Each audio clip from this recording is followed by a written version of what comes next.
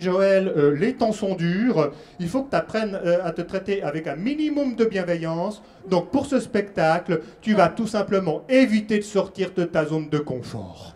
Bref, tout ça pour dire que s'il y a des gens qui n'étaient pas très bien avant de venir et qui se sont dit mais ah, allons-y quand même, on a dit qu'on y allait, forçons-nous, voire même qui se sont dit allons-y, ça nous fera peut-être un effet bénéfique sur ce qu'on a audacieux pari, respect, eh bien, je prends juste un tout petit temps pour leur transmettre tout ce qu'il y a en moi comme monde de positivité.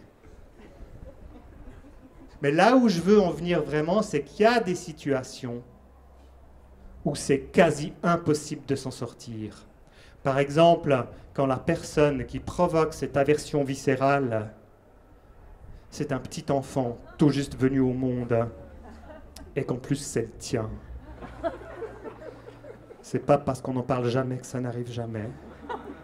La mélodie? Non Non, c'est pas, un brouillon, c'est la version def.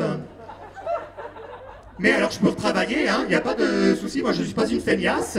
La résilience et le pardon, enfilons-nous les dans le fion.